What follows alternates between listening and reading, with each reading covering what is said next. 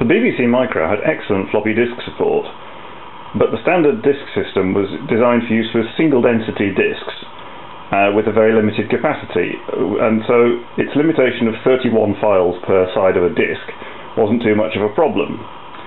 However, people wanted more space on disks, and so different disk controllers were developed that could handle double density disks, uh, which could store more data.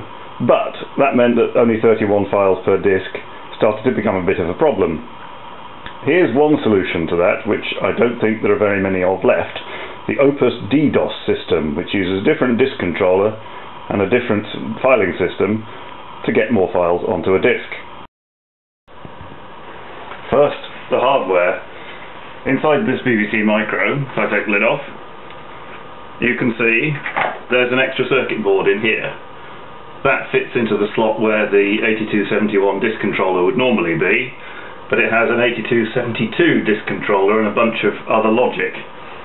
Um, and that needs different software to run it than the standard Acorn DFS.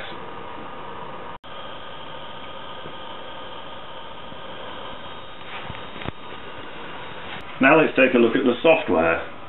Um, I've already got a disk in the drive here, so let's first of all let's see what commands are available. If I use star help, we can see that the DDoS provides DDoS and utils help fe features. Let's start with util because it's shorter. Notice in addition to the usual DFS ones there's also a format command and a volgen command uh, which we'll come to later. There's also a verify command for verifying disk formatting looking at the DDoS help, we've got commands for automatically switching between 40 and 80 track disks in software. Uh, we have also mcopy, which is a sort of enhanced copy command, which copies multiple files into memory at the same time to make it faster. SROM for selecting which ROM to save if you want to save your sideways ROMs to disk. Uh, stat for seeing what the status of a disk is and how it's partitioned and uh, tape disk for transferring things from tape to disk and XCAT for doing an extended catalogue of a disk. Uh, since I've got a disk in drive we'll start by trying to format it. So if I type star format oh, that won't work because I mistyped it. If I type it properly uh, it comes into a nice yellow screen. Number of tracks, uh, this is an 80 track disc, so we'll go for that. Drive number, let's start with 0. Uh, and let's format it double density. Now you couldn't do this with a standard Acorn disk interface because the controller, the 8271, only supported single density. So, this will now format the disk. I think if anything goes wrong it would show errors next to the numbers scrolling down the screen here.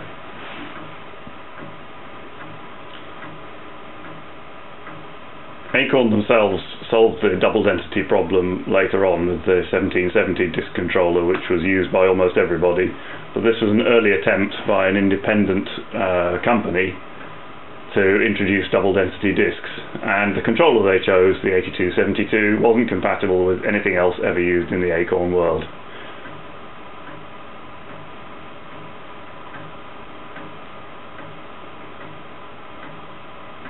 Computer users of a certain age will remember the hours and hours spent waiting for this formatting process to complete. But we're nearly there now. So far this looks like a perfectly normal disk format, it's just run through and formatted all 80 tracks. And it will finish now. Uh-huh. There we go. Done.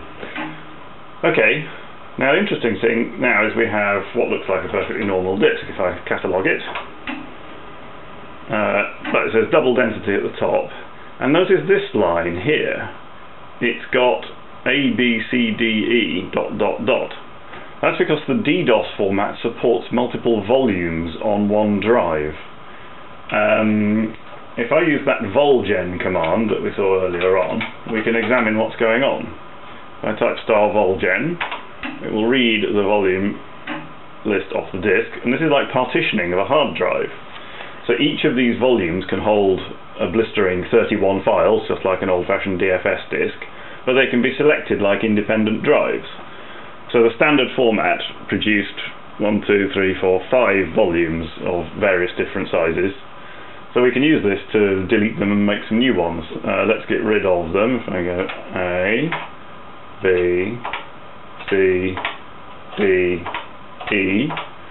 So we've now got 355k on this side of this disk, which is not bad actually. That's uh, that's that's that's a pretty full double density disk and far more than the 200k that Acorn DFS would manage to fit on the same drive.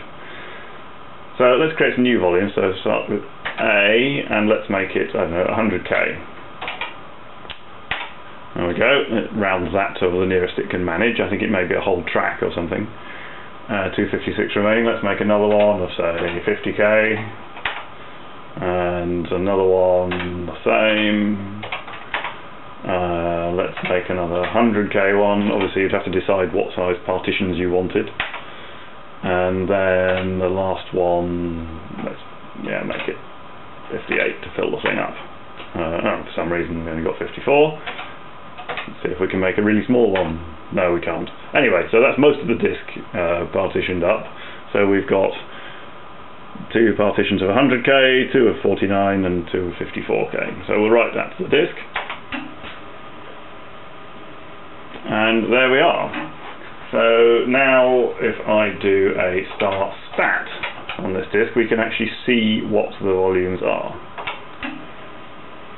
And there we go. So we have five different volumes with how much space they've got in them. And um, now we can actually try writing something in them. Let's try using, let's just, I don't know, save the screen into the current one. And that. So that should have used about 1k if I remember rightly. Let's have a look again at star stat. There we go, we've used 1k in the first volume. Now I can select a different one by selecting drive say 0D. Now we're using a different volume. So if I save uh, another file, uh, a bigger one this time, should be 16k, saves it. Takes us a moment or two. Writing to double density disks doesn't seem to be very fast. Now, here we are, we've got 1K used on drive 0 and 16K used on drive 0D. So if I look at the disk catalogue now, we're on drive 0D, remember? There we are, there's our file. If I change back to drive 0, there's our original screen file. So we've actually got five independent partitions on this one floppy disk. Um, just to show you one of the other features of this DDoS, uh, the ROM saving one, which is quite handy. If I go and select ROM F, I'm not sure what is in ROM slot F on this machine, and then I save it. Let's just save the first bit because it's quicker. Um, ROM F from 8000 to, let's say, the first 1K, 8400. And now if I select ROM E, save ROM E, 8400. Um, now we can have a look at what's in those files and see what we've saved. Notice they were both from the same area of memory. So let's look at ROM-F first. And you can see this is the basic ROM, basic 1. Now if we have a look at ROM-E, it's Wordwise. So we've managed to select two different ROMs to be able to save them to disk. That's very handy if you're using a machine with sideways RAM or you want to save your ROM images to use somewhere else. Uh, now we've got quite a few files in this partition. We've got three files. Uh, let's say we wanted to copy those to another volume. We can now use star mcopy from, to check how it works So we can copy multiple files from uh, the source drive to the destination drive. So we go start m copy from naught to say naught c, and it will read those three files and then write them into volume 0c. So we're in volume 0, if I go star drive 0c, and look at it, that's not now got our three files in. Look at star stat to see what's going on in all the volumes. We have now 3K used in drive 0, 3K used in drive C, and our 16K used in drive D. So that's how the Opus DDoS works, a peculiar way of squeezing more data and more catalogue entries into a BBC Micro disk whilst retaining some amount of compatibility with how DFS used to do things.